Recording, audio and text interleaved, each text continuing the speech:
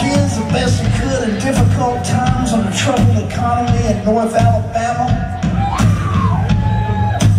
And he knew some guys who said they could help, and so they made a deal. And they shook hands, and pretty soon that little used car lot became a massive General Motors dealership. Selling IROC Z Camaros to teenagers all over the Tennessee Valley. And that little record yard, it got the for most of North Alabama's local law enforcement, and it grew and it grew and it grew.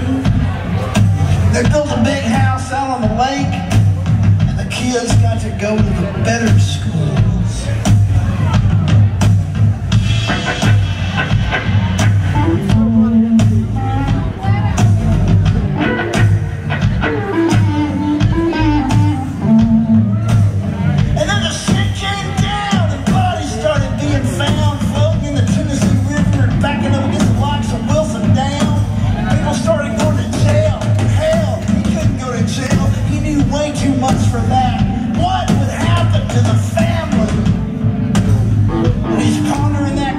On a Sunday night with a shotgun in his mouth. But what would happen to the family?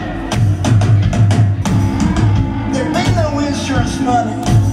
And the house on the lake would be up for sale. And the kids back in the county schools.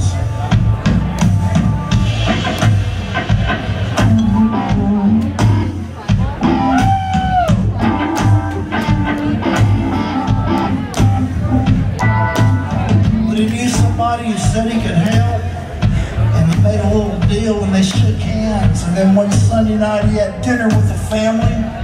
And then he went to the office and he wrote out the payroll checks for the next three weeks. And he locked the safe and he walked out into the night and got into a long black Cadillac.